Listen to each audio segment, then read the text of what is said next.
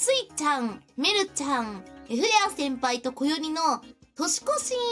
のついちゃんの枠でやっていた、あの、年越しのね、枠を見ていた人たちは、え覚えているかなと思うんですけれども、えー、ま、小よりの家で、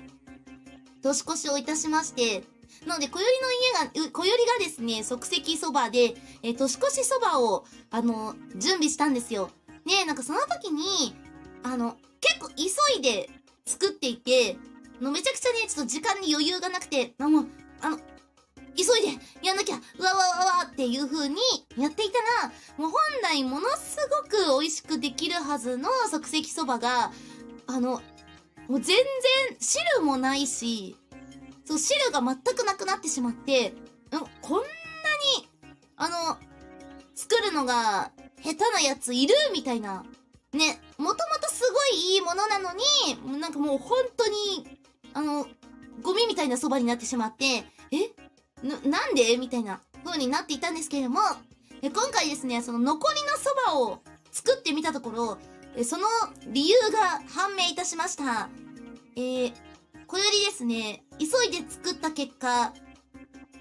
この上に乗せるかき揚げがあるんですけれども、このかき揚げをですね、先に入れていたんですね。はい。